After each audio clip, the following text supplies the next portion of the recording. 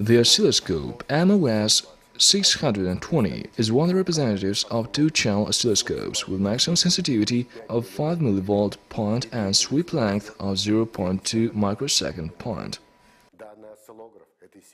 The oscilloscope of this series has a cathode ray tube with emitting cathode, 6-inch screen and an internal grid, as well as qualitative focus system, intense brightness at accelerating voltage of 2 kV provides a clear image at high sweep speed.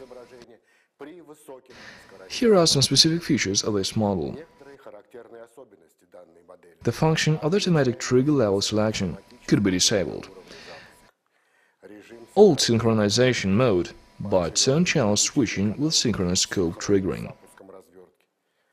The oscilloscope has a frame or line synchronizing pulse interface, mode to signal synchronization frequency range from 0 to 20 MHz, ability to operate in the mode of XY axis relation. The channel CH1 provides horizontal motion along the x-axis.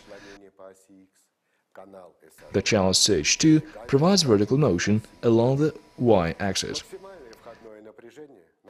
Maximum input voltage at the CH1 CH2 inputs is up to 40 volt in 1-1 mode and up to 400 volt in 1 to 10 mode, depending on the position of the probe. The device ability to operate in two-channel mode coupled with signal accumulation mode. Oscilloscope picture tracing is used for detailed examination of small sub-image of the wave view. Convenient layout of control knobs and operating mode switches facilitates quick on-stream learning of technical measurement cycles of oscilloscope by its permanent user.